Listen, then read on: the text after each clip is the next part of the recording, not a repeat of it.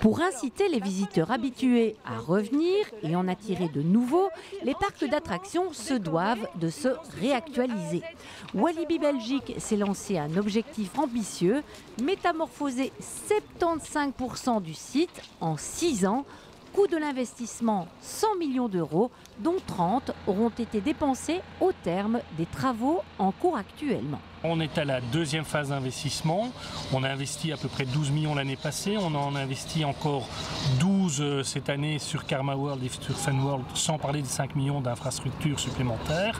Et nous allons en investir à peu près 10 millions l'année prochaine. Et pour 21, ce sera l'apothéose avec 30 millions d'investissements. Notre actionnaire, euh, la Compagnie des Alpes, nous a donné mandat pour essayer d'utiliser au mieux ces 100 millions. Mais il faut savoir, et c'est un peu technique, que tout va se faire par autofinancement, c'est-à-dire que le parc doit se rentabiliser par lui-même. Qui dit investissement dit rentabilisation. Au terme des travaux, la direction du parc espère attirer 3 à 5% de visiteurs supplémentaires, une augmentation qui aura une incidence positive sur l'emploi. Nous visons euh, une croissance euh, d'à peu près 15 à 20% d'équivalents temps plein. Aujourd'hui, sur le site, nous sommes à peu près 300 équivalents temps plein et nous arriverons certainement entre 50 à 60 équivalents temps plein à l'horizon 2022-2023.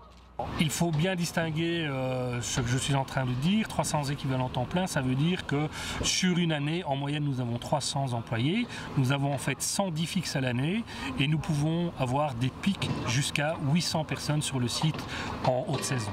Partout dans le monde, les parcs d'attractions se doivent de se réactualiser sans cesse pour rester compétitifs. Alors, pour être certain de ne rien rater, les uns et les autres se rendent régulièrement visite. Nous allons voir dans d'autres parcs d'attractions, là je reviens d'un voyage à Las Vegas et à Los Angeles, où effectivement j'ai eu l'occasion de, voir quelques, belles idées, euh, quelques belles réalisations qui sont faites euh, par des concurrents. On s'en inspire, mais on essaye aussi avec euh, nos fournisseurs d'attractions, entre autres, de, voir quelles sont les attractions qui pourraient rentrer dans la stratégie, mais qui sont des attractions innovantes. Pour l'heure, le parc est un énorme chantier. Implanter de nouvelles zones et de nouvelles attractions, dont une montagne russe de près de 200 mètres de long, demande un travail long, lourd, impressionnant et hyper spécialisé. Il y a toutes des équipes qui travaillent dès le début, dès le premier schéma jusqu'à la réalisation, mais ce sont chaque fois des équipes spécialisées dans leur domaine. Donc par exemple, quand on doit mettre, poser par exemple des pieux, ce sont des gens qui étudient comment le pieu peut rester stable, parce qu'il faut étudier aussi avec le poids du visiteur, etc. Donc vraiment tous les paramètres de toute attraction qui soit euh, est étudié de A à Z de façon à ce que la sécurité soit évidemment garantie. Mais avant évidemment qu'une attraction soit opérationnelle, il faut savoir qu'il y a un organisme euh, officiel et indépendant qui vient donner son, aval pour que l'attraction puisse fonctionner. C'est ce qu'on appelle le TUV, TUV.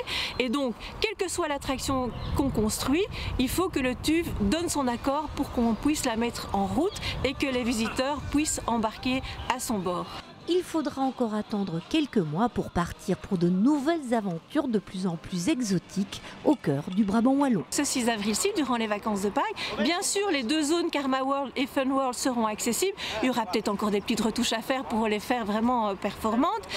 Pour les deux attractions, évidemment, comme on est encore en chantier, elles seront prêtes dans le courant du printemps.